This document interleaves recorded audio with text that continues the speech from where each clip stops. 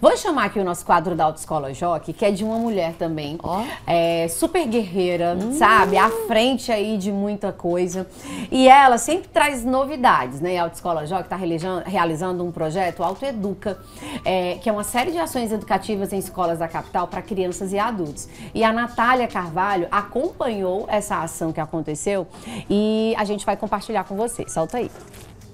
Autoeduca. Oferecimento Autoescola Jockey. Segundo o estudo realizado pelo Ministério dos Transportes, o fator humano é responsável pela maior parte dos acidentes no Brasil.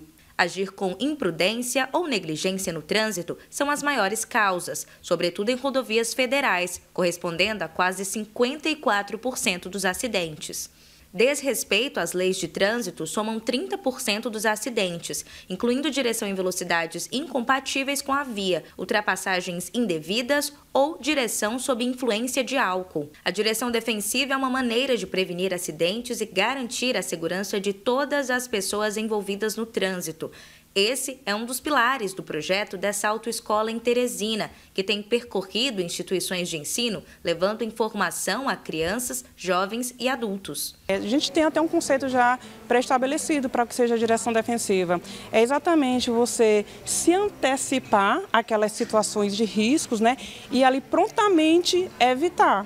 Porque é, é aquela famosa frase que eu acho que todo mundo já escutou: atrás de uma bola vem sempre uma criança, não é? Então, a partir do momento que eu tenho aquela atenção redobrada para o contexto, para o ambiente em que eu estou inserido, né, eu já consigo me antecipar daquele risco eminente, porque a qualquer momento aquela criança vai correr para o meio da rua e se eu não estiver atento, eu não vou conseguir reduzir e parar de forma correta para que aquela criança faça a travessia com segurança. Que a gente não pode esquecer também que a criança ela tem essa prioridade de passagem, né? Está na legislação, inclusive idosos, gestantes, crianças, todos eles são parados pela legislação. Cinco escolas da capital já receberam as palestras educativas. Dessa vez, o encontro foi na Zona Sudeste. O projeto continua. É muito importante a questão do trânsito, principalmente no estado do Piauí, que é está no ranking, terceiro lugar no ranking do, no Brasil de sinistros de trânsito.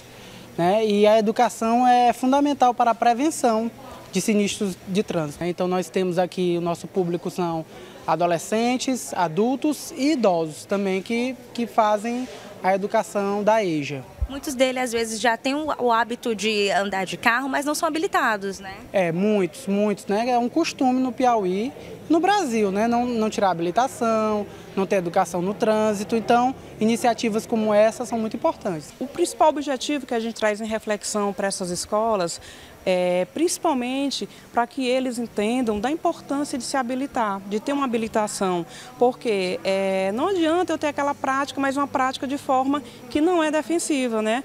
que não vá contribuir para o bom andamento no trânsito. Então é importante que eles entendam isso. Então eu acho que está dando certo, porque eles já começam a entender que precisam sim passar primeiramente por, por conceitos teóricos para depois levar isso de forma correta para a prática. Tanto é que a autoescola está recebendo né, é, muitos contatos, né, eles mesmos vão atrás, procuram depois da palestra, acham muito interessante, debatem e tem procurado a gente. Né, a gente fica muito feliz. Tá aí, gente, muito bacana, né? E ela é essa empreendedora mesmo maravilhosa, que sempre tá aí inovando e levando é, ensino para escolas. E se você quer também levar para a sua cidade, é, fala com, a, com ela que é, a gente vai até você. Eu digo a gente porque eu já faço parte de todo de o movimento. Todo... de tudo que faz parte aqui.